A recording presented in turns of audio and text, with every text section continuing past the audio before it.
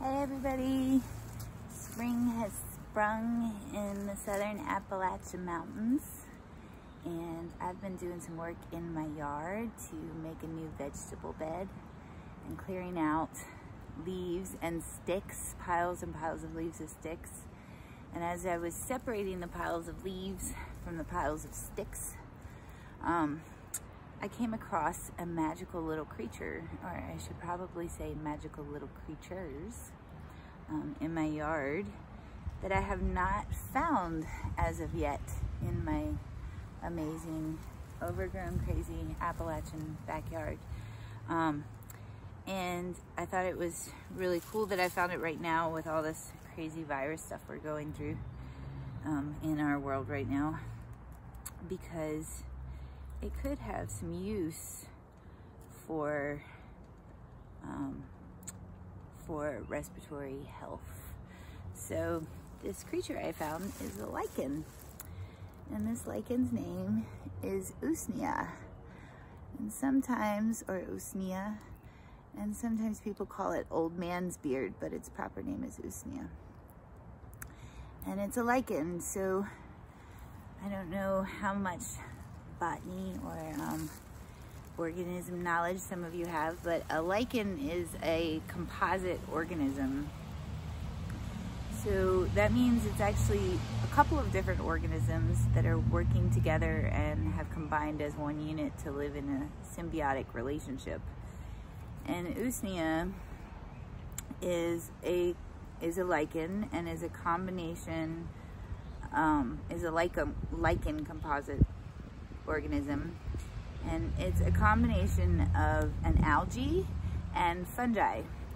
And so the, um, the fungi are kind of like us humans. They can't, um, they can't make their own food. They can't photosynthesize. They can't take energy from the sun and the air and make their own food. They have to feed on other organisms, um, usually different fungi feed on different organic matter in the soil or they feed on like decaying wood. Sometimes they feed on living, they have a symbiotic relationship with living wood.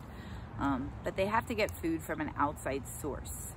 Um, and so um, when this symbiotic relationship happens, what happens is that the there's fungi and they attach themselves basically to this algae and they create a they create an environment for the algae where it's not um, harm, harmed by UV rays um, and it can grow prolifically. Well, algae are kind of like plants. They're more like plants and they can actually photosynthesize.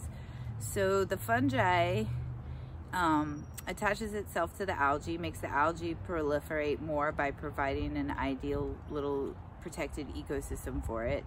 And the algae then makes food. And so then the fungi has a has a consistent source of food by allowing this by creating this ecosystem for the algae to exist.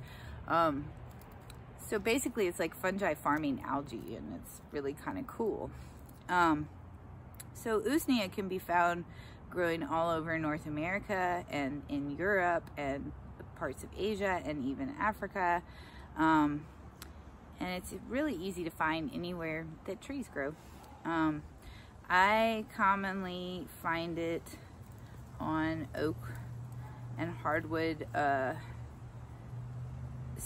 logs in in in the forest around here um, but they are very common on pine and spruce and fir trees. And um, you can see it a lot on the apple trees here. So when we're talking about Appalachia and, and common trees we have here we have a lot of apple trees here and orchards old orchards. And you can find usnea on the apple trees and um, sometimes on the walnuts. So yeah and it's like a blue green sometimes yellow lichen um, and I find it in little tufts around here like this.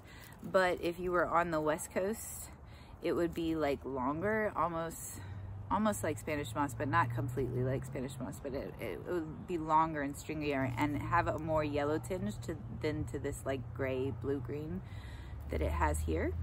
Um, so, and the easiest way to identify it, because it can be confused with oak moss, especially if you're finding it on oak leaves around in, in the south, on oak limbs, um, it can be confused with Spanish moss. And the best way to identify it is that when it's moist and wet, it's rained recently or you've soaked it in water for a while, you can pull it apart and it has this really cool little way to ID it. So I'm gonna try to show you guys that in the camera.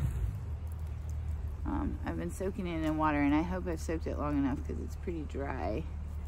So let's see if I can get a longer piece out to show you how to ID usnea.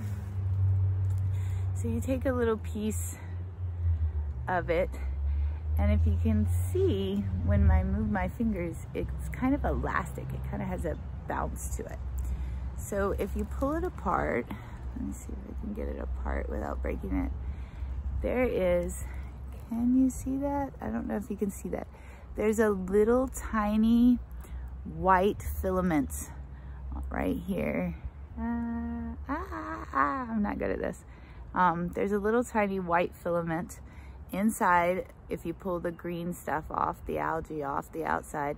And that little white filament is the fungi living inside. And it, is actually, if it's moist, it bounces. It's boingy. I call it the boingy boingy herb, um, which is super cheese, but that's what I do. Um, see if I can find a bigger, better piece, a bigger branch. But that's how you ID it, is you pull it apart and you look for this springy little elastic white filament on the inside. And if it bounces after it's been soaked and it's wet for a while, um, you've got usnea. It's really magical plant. There's, can you see the filament? I pulled the green off and you can see that one white little piece sticking up. That's on the inner side of the green and it's, um, that's the, that's the fungi and it has an elasticity to it. It, it bounces, it has elasticity to it.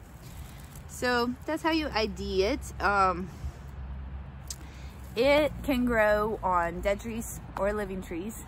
Um, and I most often harvest it, I, or actually not most often, all the time, I harvest it um, from fallen limbs. I don't ever take it from trees where it's growing on, still growing on the trees and on living trees. Um, and the reason for that is that like in some places it's abundant and we have a lot of it. And then there are other areas of the country um, that it's becoming an endangered species. So I feel like it's better to take it off the off the ground, off of fallen limbs, instead of actually going and trying to harvest it when it's still growing on a living tree.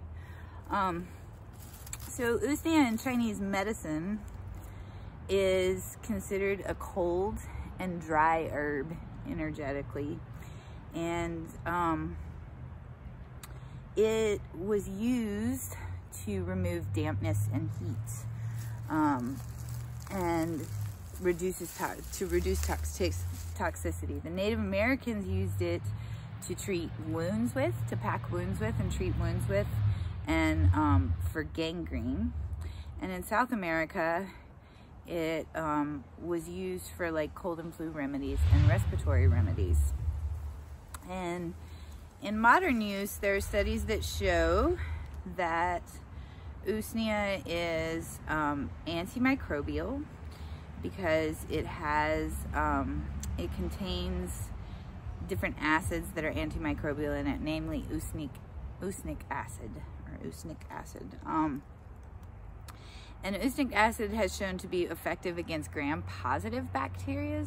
So those are your strep, your staph, um, bacterial pneumonias, um, tuberculosis, but it also has shown an affinity for some viruses like um, the herpes, herpes simplex virus, um, as well as uh, as herpes simplex virus as well as um, HPV virus too and Epstein-Barr.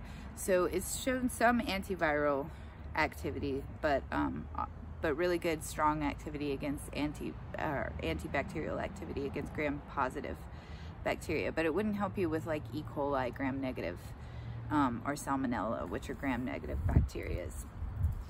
Um, so I, for like herpes simplex, I've used it in combination with lemon balm, um, like for for the herpes around the mouth. Um, I have some family members that get cold sores, and so I've used it for that with some success. Um, I've used Usnea most often for urinary tract infections, for UTIs, in combination with horsetail and um, uva ursi and uh, marshmallow root. Um, and uh, it also can be used in respiratory syrups to dispel phlegm from the chest. Um, it's really good at getting into the lungs and helping to helping your body to expel it with a friend, expel phlegm from your lungs. And I would use it in combination with something like elecampane root um, or osha, which I don't really use osha um, also because it's an endangered plant, so I don't really mess with osha root very much. But um, elecampane or um, wild cherry bark, some kind of expectorant. So if you use usnea with an expectorant, it help get rid of dampness out of the lungs. Um, and it could be done as a tea. I prefer it as a tincture because as a tincture, you are you you would do it 50-50 water and alcohol. And the alcohol will grab your acids that show antimicrobial activity so antiviral antifungal and antibacterial. Um, but in the water portion of the extract if you do a hot water extraction to combine first um, in the water portion, you get the long chain polysaccharides, which are part of the fungi that grows inside of the algae. And long chain polysaccharides help to help our bodies stimulate immune cells. So white blood cells, your key lymphocytes, um, NK cells, T cells, all of the good cells in our body that fight things that are not supposed to be in our body and make our body stronger to withstand and create antibodies to those things um, are stimulated by long chain polysaccharides, which are in here. And those are water soluble. And um, so I like to combine it and take it that way. Um, it's a really, really cool little creature. I really like lichens. I think they're cool. The whole symbiotic relationship to becoming one duality of lichens and of this lichen I, I think is really, really cool. And I really like it. So that's my video about usnea for you guys. You could use this in tincture form and make it part of um, a respiratory syrup. You could just take it in tincture form, um, but I would use it in combination in a respiratory syrup, maybe with elecampane, maybe red root, elderberries, um, cordyceps mushrooms. I like to have two fungi in, in my formulations sometimes. I think that fungi like to hang out with other fungi. So yes, it's a really cool little lichen and I will make a video soon and show you guys how to tincture this awesome little plant that I found or lichen, not plant that I found. All right, have a good day.